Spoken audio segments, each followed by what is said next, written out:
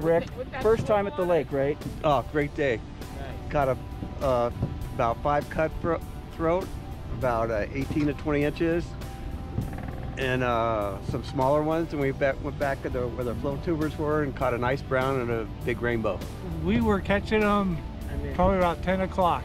Yeah.